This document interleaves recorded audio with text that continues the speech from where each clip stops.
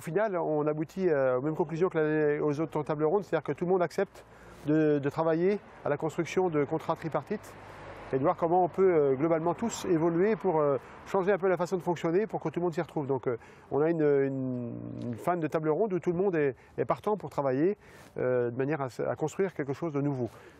maintenant, il reste à construire, c'est-à-dire qu'il y a des intentions qui sont données, d'accord, on prend acte.